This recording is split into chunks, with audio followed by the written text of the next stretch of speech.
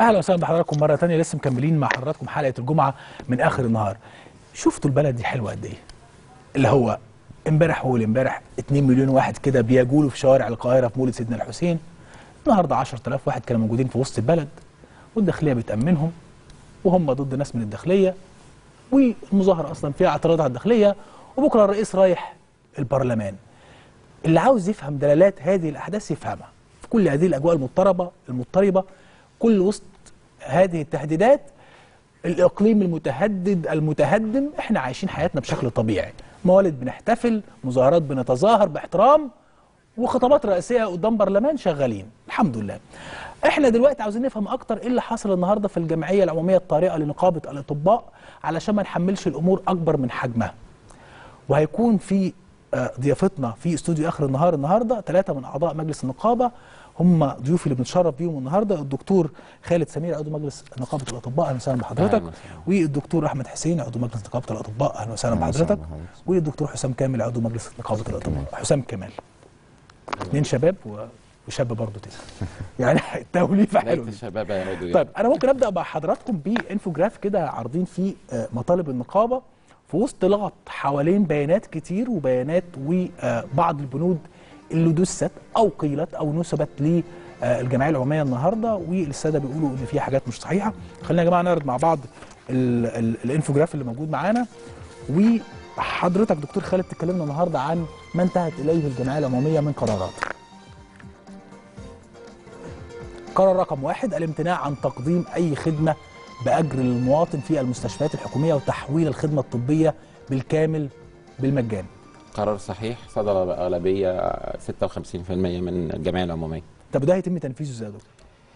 والله إحنا لسه المفروض مجلس النقابة وتم تفويضه في احدى القرارات الأخرى يعني بوضع بروتوكول لتنفيذ هذا والتواصل عن طريق النقابات الفرعية والمستشفيات لأن في أسئلة كثيرة طرحت حول آليات التنفيذ فان شاء الله هنقعد وهنتواصل مع كل الأطباء بما يجب عمله في هذا الموضوع. لكن الهدف على ده؟ الهدف الأساسي الهدف الأساسي هو آه، مقولة أن الأطباء يريدون حرمان المرضى من العلاج. آه، نوضح إن نقابة الأطباء تريد إصلاح منظومة الصحة ال- في مصر دون المساس بالمرضى. فدي محاولة من محاولاتنا النهارده ساندها كثير من الأطباء في الجمعيه العمومية بنحترم قرار الأغلبية وبنحاول إن شاء الله إن إحنا نثبت للمرضى إن إحنا في صفهم مش مش مش هيدفعوا ثمن الخلاف الموجود بسبب خروج أقلية وارتكابهم لجرم فظيع وعدم آه، على تطبيق قد القانون حلاوة عليه. القرار ده لكنه بيصير تساؤل إذا كانت المستشفيات فيها إمكانيات قليلة إزاي هتصرف الخدمة المجانية؟ إزاي تكون الخدمة المجانية؟ مين هيتحمل هذه التكاليف؟ ما هو المفروض الخدمة تكون مجاني في المستشفيات العامة أساس الموضوع تم استحداث آه، حاجة اسمها العلاج الاقتصادي. مم. العلاج الاقتصادي ده بمقابل مادي بيدفعه المريض آه، تذكرة في العيادة إلى آخره. وبعد كده بقى ده هو الأساس وما بقاش فيه علاج مجاني إلا في حالات الطوارئ. وبعد كده الطوارئ الأخرى بقى فيها حاجات زي الولادات وغيره اتحط عليها رسوم. فده الوضع الحالي إن ما فيش تقريبا علاج مجاني. لكن القانون بيقول إن المستشفيات العامة العلاج فيها مجاني. تمام.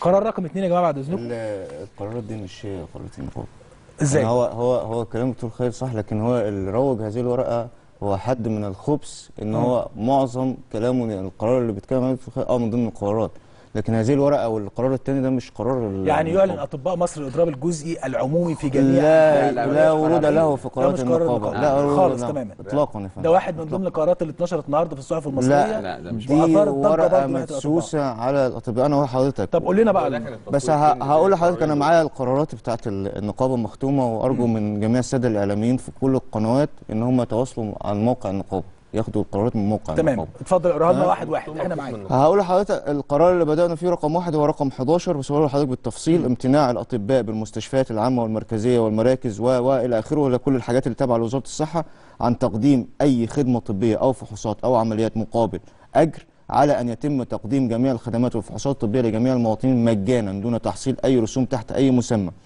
ويتم تقديم جميع الخدمات بموجب تذكرة الاستقبال المجانية. ومطالبة وزير الصحة وجميع مديري الإدارات والمستشفيات بصرف الأدوية المطلوبة بتذكرة الاستقبال المجانية وتكليف مجلس النقابة بوضع بروتوكول لذلك على نبدا التنفيذ اعتبار من يوم السبت الموافق 27 فبراير 2016 دي خاصة بالجزئيه دي بس اسمح لي يا أستاذ محمد أسترسل بس. تعقيبا على أو استكمالا لكلام الدكتور خالد. مين اللي هيدفع المقابل؟ ما هو دافعها ال- المواطن على فكرة. المواطن دافعها في الضرائب وكلام الخدمة الطبية مجانية دي مش كلامنا إحنا ده كلام الحكومة اللي للأسف ده مش فعليا على الأرض. إحنا مش بنخاطب مواطنين عايشين في أمريكا ولا في ألمانيا إحنا بنخاطب مواطنين عايشة في مصر بتزور المستشفيات ديت. أيوه أنا بقول لك المواطن بيروح يا- يلاقي يا- امكانيات قليلة. يا فندم إحنا بنقول هذه الإمكانيات القليلة إحنا هنقدم بها الخدمة مجانا الفرق إيه بقى؟ إن بالإمكانيات رغم هذه الإمكانيات القليلة الحكومة بتبيع الخدمة بمقابل للمريض. إحنا بنستخدم كأداة من الحكومة لتنفيذ هذه القرارات. إحنا رافضين إن إحنا نستمر إن إحنا نكون هذه أداة. رغم إن الحكومة ووزير الصحة وغيره وغيره بيروج في الإعلام خطأ وزورا وكذبا إن الخدمة المجانية مجانا. العيان بيخش العناية المركزة بيدفع 5000 جنيه تأمين. بيدخل الحضانة بيدفع فلوس. عمليات الولادة مش عارف ب 300 وب 1000 جنيه في المستشفيات العامة. تمام؟ إحنا هنقدم هذه الخدمة مجانا تنفيذا لكلام الحكومة الغير منفذ على الأرض. وبنقول إحنا مع اهلنا أصل هو ده مش كلام انشا على فكرة. إحنا عايشين الوضع في المستشفيات وإذا كان في بعض المضايقات أو المشاحنات بين الأطباء وبين الجمهور فده نتيجة إن الطبيب طب اللي قاعد الناس بتقول محمد، الناس اتفضل. بتقول برضو إن البند ده كان ممكن الأطباء ينفذوه أو النقابة من زمان لكن هم عملوه دلوقتي عشان يراضوا الناس في الشارع. لا يا فندم اسمح لي إحنا نفذناه أكثر من مرة قبل كده. نفذناه في إضراب 2011 ونفذناه في إضراب 2012 ونفذناه في إضراب 2014 وكان من أحد الإضرابات مرفوعة أول مطالبة ميزانية زيادة ميزانية الصحة وتحسين عشان تقدم الخدمة المستشفيات. إحنا كلامنا ما بيتغيرش ومبدئي ولو رجع الناس رجعت بالذاكرة أو مش بالذاكرة مرصودة في وسائل الإعلام لو رجعت ممكن على الناس معانا يا جماعة هي كمان تقول. احنا- ممكن بقى تكمل لي البنود عشان نشيل اللبس اللي موجود يا جماعة لأنه في النهارده قرارات مدسوسة هو. حاضر يا فندم. هم هم 18 قرار كان هن- هنتقل لحضرتك ال- الحاجات المهمة اللي مؤثره مع ال- الناس. المو... المطالبة مطالبة رئيس الوزراء بإصدار قرار بإلزام المنشآت الطبية. اللي تابعه لوزارة الصحة والمنشآت الطبية اللي تابعه لوزارة التعليم العالي ووزارة الداخلية إنه حين أي اعتداء على منشأة طبية يتم تحرير محضر من إدارة المستشفى.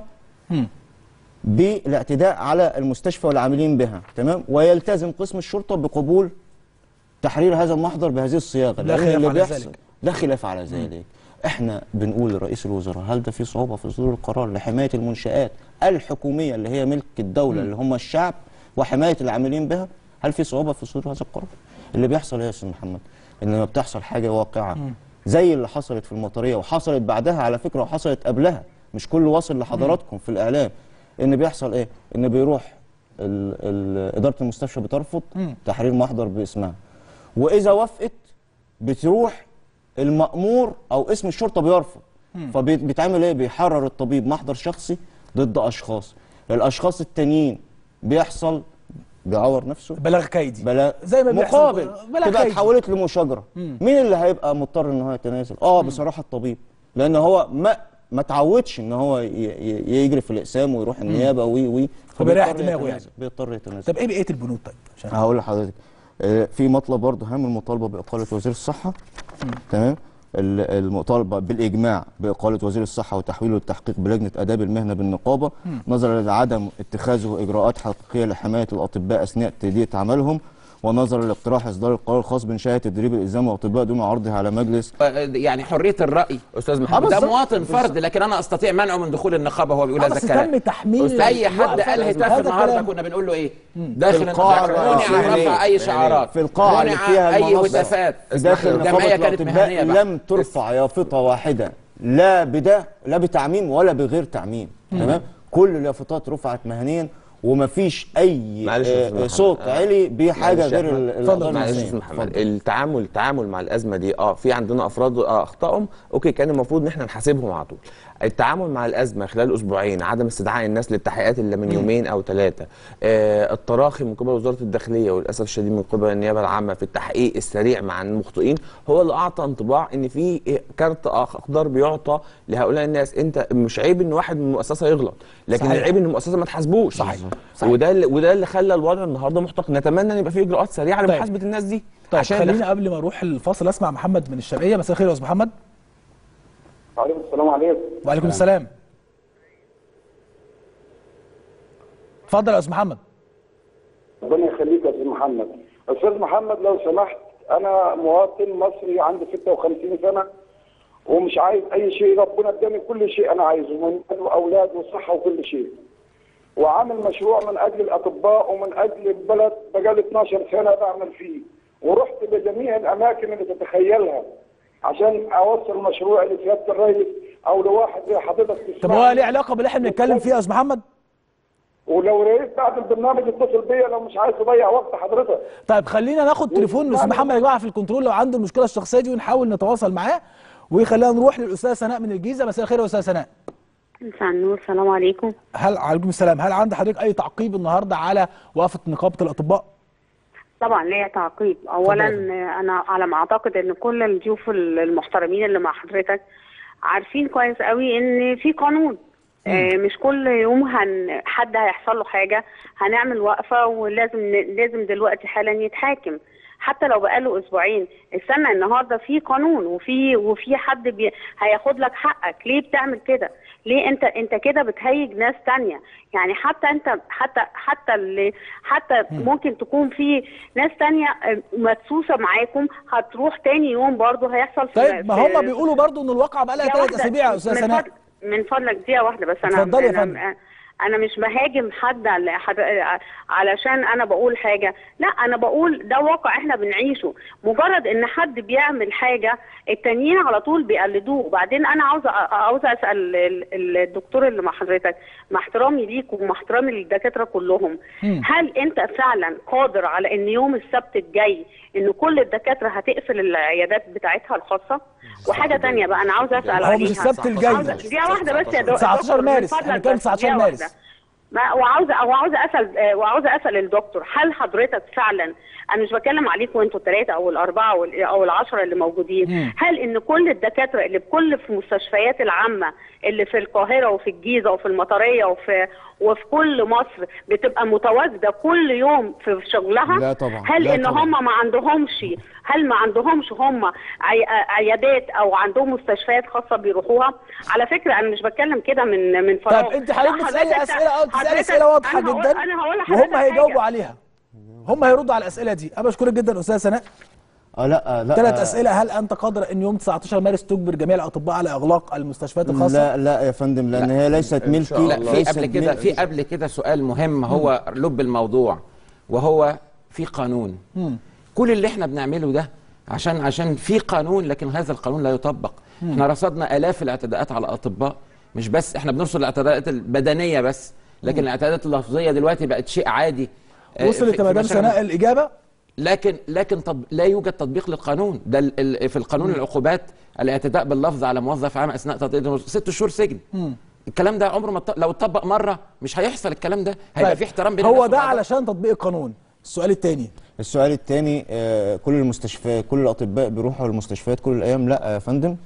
آه المستشفيات. فيها ليه- أنا؟ بموت آه الصراحة. ما أنا هقول لحضرتك بس. بموت الصراحة. آه أرجوك بس. اسمعي بس الآخر آه بص يا باشا. اولا إحنا ما عندناش مستشفيات آه، آه، يعني أنا ولا الدكتور حسام آه، ما عندناش مستشفيات خاصة ولا فاتحين عيادات خاصة والدكتور خالد ما عندوش مستشفيات هو مش سؤال. شخصي هي بتتكلم عن حالة عامة. أنا, أنا بقول أنا. بجاوب لا هي بتسأل أنا من حقها طبعا. كل الأطباء بيروحوا ال- المستشفيات كل أيام في الأسبوع لا يا فندم. في إهمال طبي في المستشفيات. أيوه يا فندم في إهمال طبي في المستشفيات.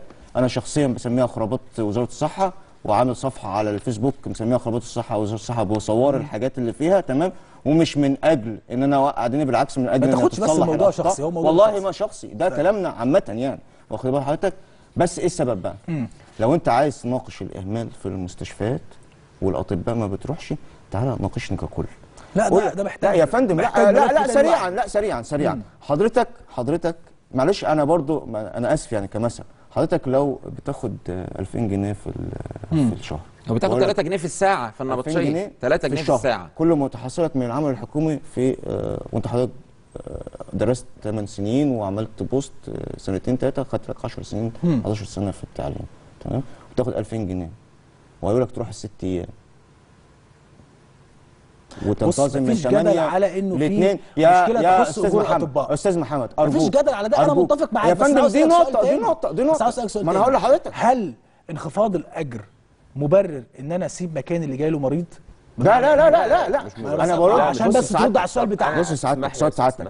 الخلاصة لا ثواني يا باشا. الخلاصة إن في 100 طبيب في المستشفى ق- عمل المستشفى من الطبيب ده بيشيلوه 20 أو 30 أو 40 في المية تمام؟ بيتقسم الشغل وده إنهاك للناس اللي موجودة تمام؟ وزي ما بح... زي ما حضرتك بقول وأنا بقر بكده إن ناس لازم مش لازم هي مضطرة عشان تأكل عيالها عشان تدفع الإيجار عشان إنه يشتغل شغل ان تاني. هو يشتغل شغل تاني صحيح. بص سعادتك أنا طلبت تمام رئيس الوزراء بشكل مباشر رئيس الوزراء السابق آه، المهندس محلب تمام وبعت له انذار على يد محضر أنا كأحمد حسين عضو مجلس النقابة باشتراط التفرغ مم.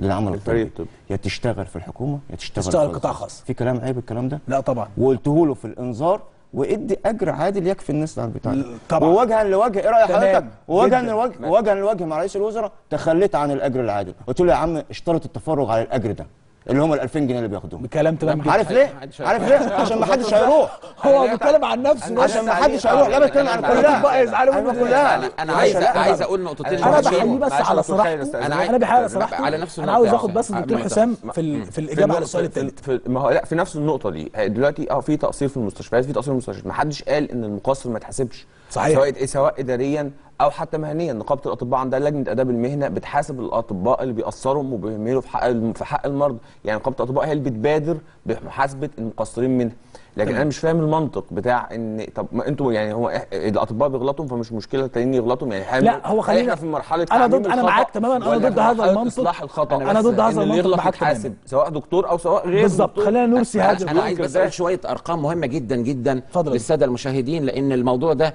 عشان يتفك الناس لازم تفهم تركيبة الأطباء في مصر قد إيه.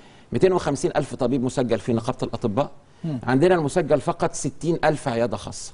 يعني ثلاث أرباع الأطباء ما عندهمش عيادات خاصة من الأصل. واخد بال حضرتك؟ عندنا تخصصات ما فيهاش عيادات خاصة. أكتر من 90% من الأطباء بيكشفوا بأقل من 100 جنيه في الشهر. آه، آه، 45% من الأطباء بيشتغلوا في مستوصفات بياخدوا 5 جنيه في الكشف. الكلام إن في دكتور نسبة من الدكاترة 1% ولا 2% بياخدوا 300 ولا 400 ولا 500 أنت كده بتعمم على اللي بيعملوا 1% على 99% من الناس اللي هم بيعانوا يمكن أكتر من الشعب لأنه هو عنده نب... بيشتغل 340 ساعة في الشهر. مش بيشتغل بياخد نبطشات الفيزيتا إيه؟ مش واحدة يا جماعة، ما بيقعد معروفة. بيقعد آه بيقعد بال 36 ساعة شغال ورا بعضه. ثمن النبطشية ما بيجيبش ثمن السندوتش اللي بياكله في النبطشية. يعني إحنا النهارده نقول إن إحنا كنا قدام جمعية عمومية لإصلاح حل. لا إحنا إحنا بالأساس كنا. قدام جمعية عمومية. أنا كنت رايح النهارده عشان كرامتي وكرامة زملائي طيب خلينا ناخد الأستاذ محمد. دي إجابة ممتازة جدا. الأستاذ محمد معانا من القاهرة؟ مساء الخير يا أستاذ محمد. طيب واضح إن التليفون قطع. خلينا نروح لفاصل ونرجع نكمل باقي حوارنا وواضح جدا من الكلام اللي اتقال وحتى من المداخلة التليفونية اللي اتقالت إنه الكل بيطلب حاجة واحدة بس القانون القانون والمقصر في أي حاجة في الدنيا يتحاسب سواء بقى كان هناك ولا هنا ولا هناك. بعد الفاصل مكملين حوارنا عن الجمعية العمومية الطارئه لنقابه الأطباء.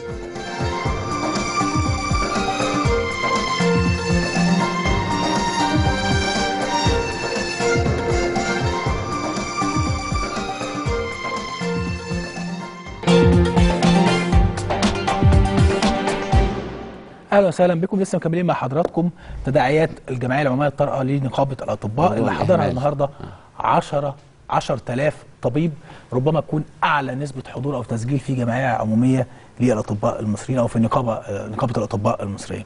حضرتك كنا قبل الفاصل مع المداخلة كنا بنتكلم على موضوع الإهمال. آه. الإهمال الطبي في المستشفيات. إحنا عندنا مشكلة ثقافية على موضوع الإهمال الطبي الطب مهنه ذات مخاطر كبيرة قد تقع على المريض أو الطبيب أو البيئة أو المجتمع حتى يعني ممكن يتسبب في تشرد أطفال يحصل مشكله يعني بره بيبصوا للموضوع بكل جوانبه. آه، عندنا مشكلة في مصر إن هو تم تصدير الموضوع أن السبب في أي مشكلة تح تحصل أثناء آه، الممارسة الطبية هو الطبيب. إحنا عندنا ثلاث حاجات منفصلين عن بعض تماما. المضاعفات وهي أشياء مكتوبة في كتب الطب كلها وممكن يتعرض إليها أي مريض بنسب معينة طبعا. ونتائج مذكورة في الكتب والمرجعيات ودي بتحصل في أي حتة في العالم. إيه، النقطة الثانية هي الأخطاء الأخطاء البشرية. الأخطاء البشرية اللي هي آه، أي بني آدم بشر بيشتغل هو مش آلة. وحتى الآلات ممكن تعمل حاجات آه، ما هيش مظبوطة بنسبة 100% بس تتحاسب ولا لأ؟ ما هو ده طريقة المحاسبة. يعني بره بيبقى في تأمين آه، ضد مخاطر مزاولة المهنة إجباري على كل طبيب ويتم تعويض المريض مباشرة عن طريق شركات معينة وهكذا. معروف الموضوع بيمشي إزاي. والحاجة الثالثه اللي هي ممكن تخش تحت الإهمال أو الجرائم اللي هي التفريط أو الإفراط في ممارسة المهنة. يعني واحد ادعى مستوى أعلى من المستوى اللي هو تدريبه آه، اشتغل في تخصص غير تخصصه لم يتواجد في المكان المناسب أدى ال- الكلام اللي هي عمل حاجة ممنوعة قانونيه تتعمل آه، إجهاض غير شرعي ختان البنات الكلام اللي هي ممنوعة في القانون. ده حاجة لوحدها. الناس عندنا في مصر بتخلط كل الحاجات دي مع بعضها وتقول إن ده إهمال طبي. فدور الإعلام وحضراتكم دور كبير جدا جدا وتساعدونا لأن إحنا غرضنا اولا بنطالب وزارة الصحة في مصر باجبار أي طبيب في الم... بيمارس المهنة إن هو يكون مؤمن عليه. وإحنا عندنا في نقابه الأطباء عاملين نظام للتأمين ب 35 جنيه في السنة. بيعطي تعويض 100 ألف جنيه للمواطن لو في أي خطأ غير مقصود حصل. مضاعفات أو آه، لا قدر الله حالة وفاة طب أنا جاي النهارده دكتور والله قبل ما نيجي على طول محمد بسؤال من صديق يعني كان عنده حالة إهمال طبي في واحدة من المستشفيات واحدة من المستشفيات الخاصة اللي حصل فيها ثلاث أربع حالات متكررة مضاعفات ولا خطأ غير مقصود خطأ. ولا جريمة واحدة منهم خطأ غير مقصود واحدة إهمال طبي كلها كل التحقيقات قالت فيها كده بيقول اسألهم لماذا لم تتخذ نقابة الأطباء إجراءات شديدة للتعامل مع ضدنا تقدم الشكوى. في آداب الأطباء. المهنة. إحنا عندنا لجنة في, في, النقابة اسمها لجنة تحقيق بآداب المهنة. بتقدم شكاوى بتتلقى شكاوى المرضى زي ما بتتلقى شكاوى الأطباء ضد زملائهم بتتلقى شكاوى المرضى ضد الأطباء بتفحص الشكوى دي عن طريق ناس ويتم التحقيق. فيها. آه يا ودي فندم. مستقلة عن النيابة الطبيب. ودي هو مستقلة عن النيابة بس عشان الناس تبقى واضحة. دي العامل الوحيد النيابة. اللي بي- بيحاسب من ثلاث جهات في نفس الوقت. النقابة؟ يحاسب من النيابة العامة جنائيا. بيتم عمل محاضر و- وساعات من النيابة الإدارية. في نفس الوقت نيابة عامة وإدارية. دي في حاجات مخالفات إدارية ودي في في حاجات بي بيتم محاسبته من وزارة الصحة. لو كان شغال في الحكومة بيبقى فيه آه، جزاءات إدارية. لو كان شغال خارج الح... يعني خارج المؤسسات العامة للخدمة الصحية بيبقى في حاجة اسمها إدارة العلاج الحر برضه بتتابعه. ممكن تقفل له المؤسسة بتاعته وتحيله سواء إلى النيابة أو إلى نقابة الأطباء. دي حاجة اللي إحنا بنعملها. دي حاجة مهنية وأخلاقية. ما إحناش جهة محاسبة الطبيب على خطأ أو جريمة. إحنا بنقيم عمل الطبيب. وعندنا أربع عقوبات ما فيش غيرهم بنديله لوم أو غرامة أو إيقاف مؤقت أو إيقاف دائم عن العمل. تمام. ده بيتم في ل- في, ل- في ح- لجنة التحقيق وبعدين في محكمة تأديبية فيها اثنين مستشارين طب قضاه موجودين وبعد كده استئنافية بعد طب خلينا نروح لدكتور محي عبيد نقيب الصيادله مساء الخير يا دكتور. وضيوف مساء الخير. دكتور محي؟ أيوه مع حضرتك. حضرتك عندك تعليق على اللي حصل النهارده في نقابة الأطباء؟ أنا طبعا بصفتي آه، نقيب صيادلة مصر ونائب رئيس اتحاد المهن الطبية. أنا حريص كل الحرص على كرامة أعضاء الاتحاد كل أعضاء الاتحاد وأيضا حريص على آه، كرامة كل مصري. أما إحنا في دولة قانون. إذا أخطأ أمين شرطة يتحبس أمين الشرطة. تمام. إذا أخطأ الطبيب يتحبس الطبيب. تمام. وكان عندنا حالة مماثلة في الاسماعيليه المريض مش تحبس الطبيب. إذا كان أنا أنا بقول. إذا اخطا إذا أخطأ الطبيب يحبس الطبيب. إذا أخطأ امين الشرطة إحنا في دوله قانون أنا طب أنا أنا نقابتي 200000 صيدلي. أعمل جمعية عمومية الصبح وأطالب بمبايعة هذا الوزير لأن أنا شايف أنا من طبيب ودخول صيدلية وتعدي على طبيب بيطري. ووفاته بالضرب ولكن إحنا سلكنا مسلك الحفاظ على الدولة.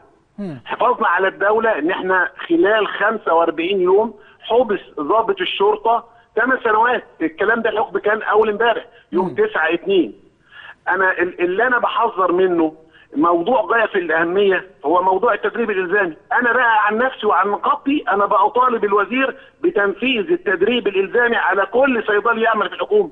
لأن معنى ان أنا بطبق عليه تدريب الزامي ان أنا عايز اطلع صيدلي كفء حريص على مصلحة المريض. الموضوع اللي اخطر منه ان ان الاطباء اعلنوا في جمعيتهم ان هم هيمتنعوا هيقدموا الخدمة بأجر بدون أجر. يعني معنى كده ان هم يكشفوا الطوارئ؟ يعني ما فيش تذكرة طبية. عدم صرف تذكرة طبية هي بجنيه وربع معنى كده ان المريض مش هياخد علاجه. إذا آه. إذا المريض ما خدش علاجه أنا بقول للمرضى وكل شخص أي شخص أو أي طبيب يمتنع عن إعطائك التذكرة الطبية اتصل بالنجدة واعمل فيه بلاغ. إيه هو الأطباء اللي بيدوا تذاكر؟ ده الموظفين اللي بيقطعوا تذاكر هل صحيح إن من ضمن القرار بتاع التذكرة الطبية؟ أكمل كلامي لا لا لا دكتور كلامي محي بس طب دكتور محي في تذكرة استقبال أكمل كلامي. ده مستني هو آه. عنده رد على موضوع تذكرة الاستقبال.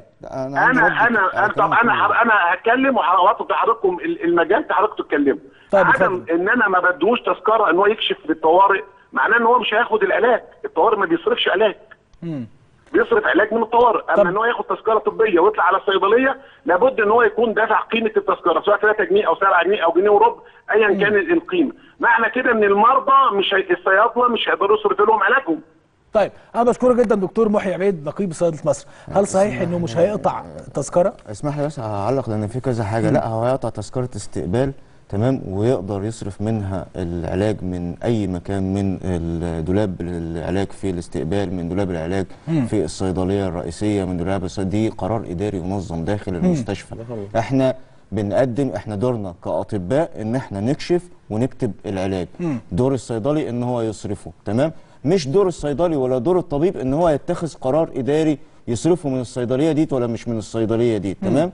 المفترض بقى الدكتور آه، محي عبيد نقيب الصيادلة يقول للمرضى لو امتنع ال ال آه، الإدارة عن صرف العلاج اللي كاتبه لك الدكتور وموجه للصيدلي يبلغوا النجده ضد وزير الصحة وإدارة المستشفى. أو إدارة المستشفى متمثلة. لا لا لا أرد عشان في جزئيات تمام. وزير الصحة اللي عايز يعمل الدكتور محي آه، عليها عمومية يأيدها. تمام أنا بقى كمواطن قبل ما أكون طبيب أنا بطالب بإقالة وزير الصحة بس نظره. أستاذ. أيوه دي. أرد بقى على وجهة. نظري أرد على وجهة نظري بقى؟ أرد على وجهة نظري.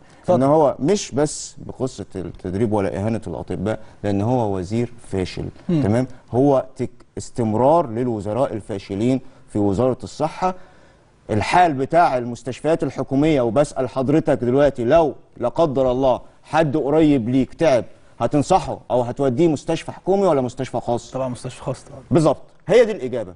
تردي الخدمة في المستشفيات الحكومية المسؤول الأول عنها هو وزير الصحة بالإهمال الطبي بكل عناصره.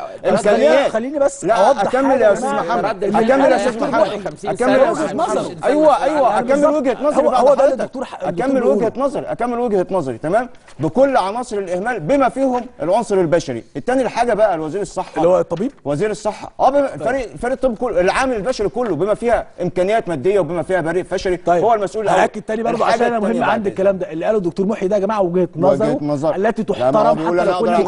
نقطة برضو على وجهة كلام أكمل وجهة. نظري يا أستاذ. طب إحنا عندنا تليفون تاني؟ أكمل وجهة نظري بعد إذن لا نسمعه. الأول وبعدين نرد في الرد الأخير. عندنا تليفون تاني. آه، نسمع بقى في رأي برلماني. الدكتور أيمن أبو العلا النائب البرلماني. مساء الخير يا دكتور أيمن.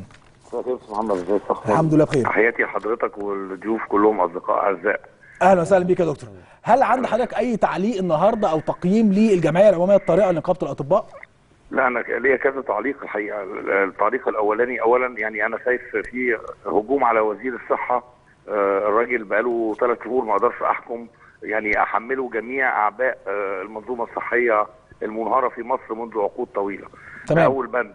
آه، تاني بند معلش في برلمان يحاسب الوزير. أنا مش عارف النقابة متدخله ليه مع الوزير اللي هو المفروض سلطة تنفيذية بعيد عن النقابة. أنت تحاسبه في أخطائه المهنية الشخصية كنقيب أو كنقابة. أنا مش فاهم ليه التحمل ده على الوزير في هذه الفترة آه، بالرغم من إحنا لسه يعني بنتحسس هنشوف البيان وهنشوف تفكيره في المنظومة الصحية إيه هل هنقدر نتعاون معاه أم لا؟ أنا ما أقدرش أحكم بس أنا شايف في هجوم متعمد على الوزير كوزير. فأنا برضو ده أول تساؤل. أنا شايف إن هي حكاية مطالبة إقالة الوزير دي مش شغلة نقابة خالص تقدر حضرتك تحاسبه إذا كان عمل عملية غلط أو عمل مريض غلط. إنما أمال بيتحملوا ليه الإهمال الطبي للأطباء؟ أمال هو بيحمل ليه ثانية واحدة، ثانية الاطباء واحدة، أمال ثانية واحدة طب خلينا. نرد بعد ما. يخلص. أكمل وجهة نظري وحضرتك قول اللي أنت عايزه. اتفضل يا دكتور. اتفضل يا آه، دكتور. آه، آه، ده أول حاجة. وبعدين أنا شايف اللي هو يعني أنا معلش أحد الأعضاء من النقابة بيقول إن هو ده حل من دار الحكمة حكيم وكده. الحل اللي هو أساسه أنت بتعاقب الدولة. ده فكرتك إنك تعاقب الدولة مش هتعاقب المرضى. ده كلام جميل. هنعمل إيه بقى في الانهيار الاقتصادي لو حصل إن نقابة مثلا الناس اللي هي محصلة للقطارات أو أو شركات الطيران قالت لهم ما تحصلوش وركبوا العمال مجاني آه، ركبوا ال- ال- المواطنين مجاني. هل ده حل يا جماعة؟ هل الحل إن أنا أضر بالاقتصاد المصري وعشان أبين إن أنا بعاقب الحكومة؟ هل هو الحل يعني عايز ارجع من الأول هو ركوب الطيران في الدستور في الدستور في الدستور حق. للمواطن يا دكتور أيمن. طب خلينا نخلص ركوب ركوب الطيران في الدستور حق. للمواطن طيب. ولا الخدمه الصحية اللي هي حق للمواطن يا فندم مجانا حضرتك مش من حقك اولا هو المواطن مش دافع الضرايب دي مش دافع. الخدمة الصحية ضرايب مقدمة نخلص دكتور علشان ايمن نخلص نخلص وبعدين حضرتك رد. الضرايب ده دفع الضرايب ده حضرتك انت المفروض دلوقتي بتضر بالدولة بإن انت ما تحصلش إحنا ما بنضرش بالدولة الدولة اللي هي إحنا يا فندم. الدولة اللي هي إحنا على فكرة. مش. قيادات اللي على بتدير الدولة. احمد انت منفعل مش قيادات. انت الفلوس دي ما بتروحش للقيادات الفلوس دي بتروح بس ما بنقولش الدولة على بهدوء الخدمة. هنرد هيقفل ونرد ده أول حاجة. نمرة اتنين في حاجة مهمة جدا. نرجع تاني من الأول. إحنا عملنا اجتماع في مجلس النواب خاص بهذا الموضوع وحضرتك تعلم كويس وكلكم كنتوا حاضرين. آه وتواصلنا. حصل اعتذار من الداخلية. حصل إن إحنا تواصلنا مع نيابة شرق وفتح والتحقيق وكان هذا مطلب رئيسي للنقابه وبعدها الموضوع هنبتدي نتواصل سياسيا ونعمل الحل السياسي. لماذا لم نرضخ لهذا الحل السياسي؟ لا حصل تصعيد، كلمت الدكتور أسامة عبد الحي والد- والدكتور خالد سمير يعرف يعلم ذلك، كلمت الدكتور أسامة طلباتكم إيه تاني يا دكتور أسامة؟ انت التصعيد ده أساسه إيه الجمعية العمومية دي أساسها إيه؟ قالوا لا إحنا لازم نصعد لحد ما الولاد نعرف أساميهم ويستدعوا في النيابة. تم طلب هذا من النائب العام عن طريق البرلمان واستدعوا في النيابة. واتعرف أسامي الثمانيه وتم تاهيلتهم للتحقيق عملية تصعيد متوالية ليها غرض أنا مش فاهمه إحنا دلوقتي يا جماعة البلد مش مستحملة مش مستحملة نهائي أي لا لا هنستقيل ونسيبها. والله العظيم في لحظة يا 25 مارس هنستقيل لحظة يا ونسيبها دكتور. لحظة يا دكتور. يا دكتور أيمن يا نائب البرلمان يا نائب القانون. لحظة يا إحنا ما دكتور طلبناش. في البرلمان غير سيادة القانون. لحظة يا إخوانا يا دكتور. يا دكتور ايمن. قدامك مساعد وزير الداخلية قال إحنا اوقفناهم على العمل بتهمة عدم الثبات الانفعالي. مع ناس بلطجت وداخلة سلاح وخطفت ناس من المستشفيات ومحولينها لعدم الثبات الانفعالي زي ما أنا بعمل. كده مش يعني أنا انفعاليه ممكن للمشاكله نطلب من حضرتك الثبات الانفعالي. خليك ثابت بقى ممكن نطلب حضرتك الثبات يا فندم ده ده كلام فيه خلط تماما ممكن نطلب حضرتك في الثبات خلط تماما الانفعالي إحنا ما طلبناش غيرتم واحد رفع سلاح يعني ودخل خطف ناس. طيب هو الدكتور أيمن بيحكي اللي حصل في البرلمان. في بهدوء يا. دكتور بعد إذنك. بيحولوهم لعدم الثبات الانفعالي. إحنا بهدوء بدولة يا. دكتور. أيمن. يا دكتور فين احمد القانون فين مجلس الشعب الكلام دي. أنا مش فاهم يا دكتور أحمد بتاخد حاجة يا دكتور ما حصلتش في مجلس الشعب. يا دكتور إحنا ما. طلبناش اعتذار وزارة الداخلية. إحنا ما عندناش عداء مع حد. ما كانتش في حاجة طيب دكتور أحمد ممكن تهدى عشان نعرف نكمل حوارنا؟ الحقيقة مش. طيب وزير الصحة دكتور طلع ايمن في الإعلام. يا دكتور تمن هنكمل كلام. إحنا كده وقتنا بيضيع صدقني. نقول 8000 حاجة. طبيب صدقني إحنا كده وقتنا. بيضيع ده صدقني. المفروض يتحاكم على هذا التصريح. طيب أنا. بشكر حضرتك جدا دكتور أيمن أبو العلا. أنا بشكر حضرتك جدا دكتور عايز أيمن أبو العلا. عايز أرد على كذا حاجة. أنا عاوز هرد على دقيقة من حضرتك ودقيقة من الدكتور هاني أوكي تمام. الأول حاجة يعني إيه أنتوا عايزين إيه؟ إحنا قعدنا في مجلس الشعب وقلنا أنتوا عايزين إيه؟ يعني إيه عايزين إيه؟ مش فاهم.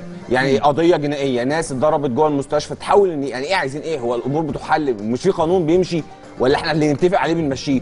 طيب. يعني أنا مش فاهم مش فاهم المنطق. دي أول حاجة. تاني حاجة في موضوع اقاله وزير الصحة. سريعا في ثلاث نقط بسرعة. أول حاجة الراجل لما دايما يتخذ أي موقف لحماية الأطباء الموجودين في المستشفى المطرية وحتى ما كلفش نفسه يطلع بيان يتكلم عنهم إلا من من 48 ساعة. الحاجة الت... ال- النقطة الثانية إن هو ما كلفش نفسه النهارده يجي الجمعية العمومية للأطباء اللي بتتكلم عن كرامة الطبيب ويقول للدكتور ده يعني أنا بعتذر لك. ولو حتى support معنوي. النقطة الثالثه والخطيرة إن هو طلع تصريحات من يومين بيقول أنت عنده 8000 خريج مصري لا يصلح لممارسة مهنة الطب. القصة دي قصة أمن قومي. أنا متشكر جدا اللي حضرتك بتقوله ده قصة امن على ده- واضحة. معلش اسف دي نقطة. الكلام اللي قاله ده إن 8000 دكتور لا يصلحوا لممارسة مهنة الطب دي في حد ذاتها إهانة لكرامة الطبيب المصري. وتضر بالأمن القومي لأن في أطباء مصريين كتير شغالين بره مصر. دول هيكون وضعهم إيه لما وزير الصحه يقول هذا الكلام سمير جدا ما يقوليش أحسن وزير صحة جدا. جه لا ده افشل وزير. صحة جه. طبعا.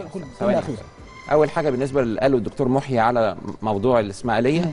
طبعا الدكتور محيي يعني بعلاقاته في الشرطة هو أصلا مقدم شرطة بيقدر إن هو يعني يعني يحسن طريقة ال- الأمور لأن في الأول الضابط برضه اتمسك وبعد كده بس سابوه في النهايه راح فين؟